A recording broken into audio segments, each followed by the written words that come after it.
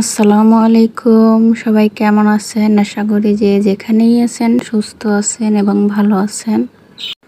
আমরাও আলহামদুলিল্লাহ ভালো আছি। সবাইকে আরও একবার বাংলাদেশি ব্লগার এমকে চ্যানেলে আমন্ত্রণ জানিয়ে ভিডিওটি শুরু করছি। কাছে কিংবা দূর থেকে যারা যারা আমার ভিডিওটি দেখে থাকেন, তাদেরকে অসংখ্য ধন্যবাদ জানিয়ে আজকের ভিডিওটি শুরু করছি। তো সকাল সকাল ঘুম থেকে উঠে চলে আসলাম রান্নাঘরে। তো এখন হচ্ছে সকালের নাস্তাটা রেডি করছি। আজকে সকালে আমার প্রিয় খাবার দিয়ে নাস্তা করা হবে। তো আমার প্রিয় না, এটা আমাদের মানে তিনজনেরই খুবই প্রিয়। আর যেহেতু বাইরে বৃষ্টি হচ্ছে, তো ভাবলাম ঠান্ডা ঠান্ডার ভিতরে এই নাস্তাটাই একেবারে জমে যাবে। আজকে হচ্ছে রান্না করব খুদের বাহা, সাথে রান্না করব তিন পদের ভর্তা। তো খুদের বাহা আমরা যে খুদ দিয়ে রান্না করি সেটাকে খুদের বাহা বলি। তো অনেকে খুদের ভাত, বোয়া ভাতও বলে। তো আমরা এটাকে খুদের বাহাই বলি। খুদের বাহাটা রান্না করার জন্য আমি পেঁয়াজ কুচি দিয়ে ভেজে নিয়েছিলাম কিছুক্ষণ। তারপরে সামান্য পরিমাণে আদা বাটা, রসুন বাটা, আর দিয়ে দিচ্ছি হচ্ছে গরম মশলা, দারচিনি, এলাচ। এবারে এগুলোকে কিছুক্ষণ ভেজে নেওয়ার পরে আমি ধুয়ে রাখা খুদগুলো দিয়ে দিলাম। খুদটা দেওয়ার পরে হচ্ছে পরিমাণ মতো লবণ আর সামান্য পরিমাণে হলুদের গুঁড়া দিয়ে আমি পানি দিয়ে দেব।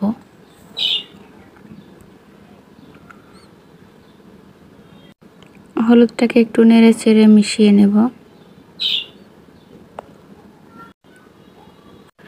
সকালে উঠে কিন্তু আমি সর্বপ্রথমে একটা রুটি ভেজে কায়মকে খাইয়ে তারপরে মাদ্রাসায় রেখে এসেছি। তো আমার সকালের প্রথম কাজ তো ওকে মাদ্রাসায় দিয়ে আসা। তারপরে হচ্ছে আমি বাসায় ফিরে আমাদের জন্য নাস্তা বানাই। আর যদি আমাদের জন্য নাস্তা বানানোর পরে ওকে দিয়ে আসতে চাই, তাহলে তো আর ওর টাইম থাকে না।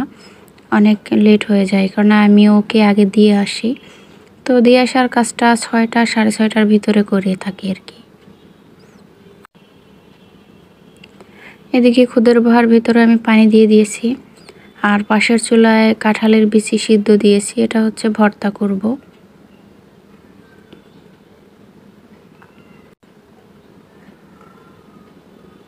কাঁঠালের বিচিটা ভেজেও ভর্তা করা যায়, তো আমি হচ্ছে সিদ্ধ করে ভর্তাটা বানাই, এটা আমার কাছে সহজ মনে হয় আর কি। তারপরে তো বিচি সিদ্ধ হওয়ার পরে আমি আলু সিদ্ধ দিয়ে দিয়েছি। আলুটাও সিদ্ধ হয়ে গেছে, এখন হচ্ছে আমি ডাল সিদ্ধ দিয়েছি। তো আজকে অত কিছু ভর্তা করব না, শুধু আলু ভর্তা, ডাল ভর্তা আর কাঁঠালের বিচি ভর্তা।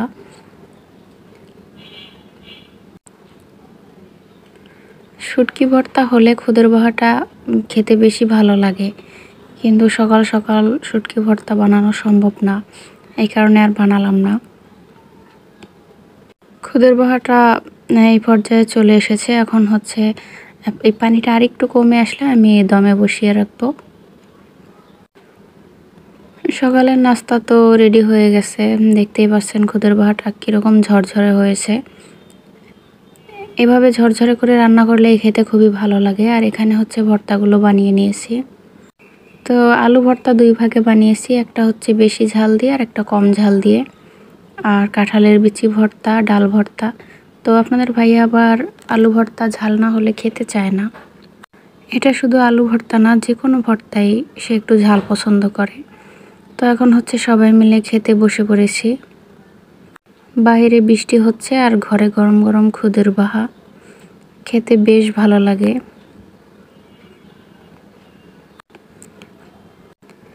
কায়াম কিন্তু সকালে নাস্তা করার জন্য মাদ্রাসা থেকে বাসায় চলে আসছে। সকালে নাস্তা করার জন্য মানে ওকে হচ্ছে নয়টার দিকে ছুটি দেয় আর বারোটার দিকে যাবে। তো মাঝখানের এই টাইমটা ওকে ঘুমানোর জন্য দেওয়া হয়। এখন হচ্ছে ওকেও খাইয়ে আমি ঘুম পাড়িয়ে দেব। তো আমরা খেতে বসেছি, খাওয়ার সময় কিন্তু একটু আচারও নিয়েছি। খিচুড়ি, খুদের বাহা সব কিছুর সাথেই আচারটা খেতে খুবই ভালো লাগে। এখন হচ্ছে আমি দুপুরে রান্না করার জন্য চলে আসছি। আজকে দুপুরে রান্না করব হচ্ছে কলমি শাক। কলমি শাকটা কেটে নিয়েছি, তো শাকটা আমি এই তো মাছ দিয়ে রান্না করব। ফ্রিজে দেখলাম যে কয়েক টুকরা রুই মাছের যে লেস রয়েছে, এগুলো আর খাওয়া হয়নি। লেজ আর পেটির অংশ, তো এগুলো আমি হচ্ছে শাক দিয়ে রান্না করব। পেঁয়াজ কেটে নিয়েছি আর এদিকে ভাত রান্না করার জন্য পানি বসিয়ে দিয়েছি। রান্নাটা করার আগেই আমি কায়মকে ঘুম পাড়িয়ে তারপরে হচ্ছে রান্না করার জন্য এসেছি। পানিটা অনেকক্ষণ ফুটেছে, এখন হচ্ছে আমি চাল দিয়ে দিচ্ছি।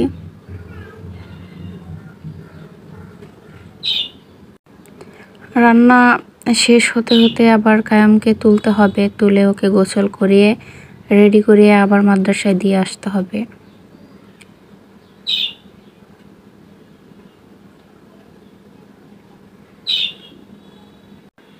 আজকে তো দুপুরের জন্য শাক রান্না করব, কিন্তু কায়াম তো শাক খাবে না। ওর জন্য ফ্রিজে মুরগির মাংসের তরকারি আছে, ও সেটা দিয়েই খাবে আর ভাত হচ্ছে নিয়ে যাবে মাদ্রাসায়। আজকে দুপুরে শুধু শাকটাই রান্না করব।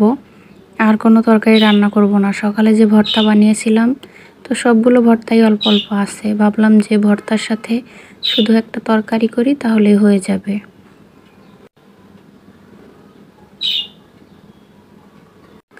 তো এটা তো দুপুরের খাবার। রাতের জন্য আবার হালকা পাতলা কিছু করে নেব।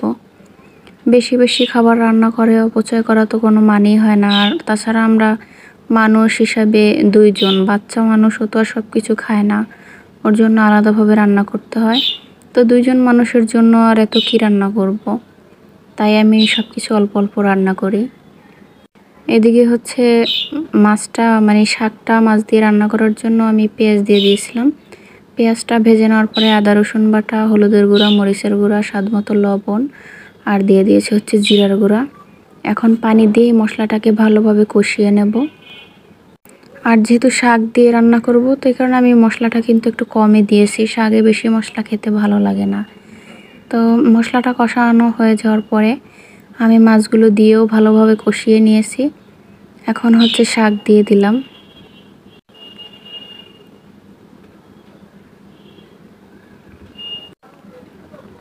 মাছটাকে একটু সময় নিয়ে ভালোভাবে কষাতে হবে। যেহেতু মাছটা আমি ভাজিনি, তো এখন হচ্ছে শাকটা দেওয়ার পরে হালকা একটু নেড়েচেড়ে আমি ঢেকে দেব।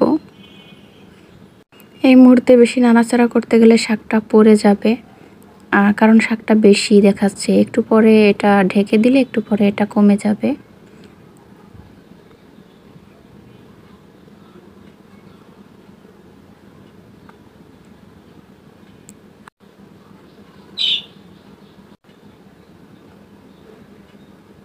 ঘরে তেমন কোনো বাজার নেই, বাজার শেষ হয়ে গেছে।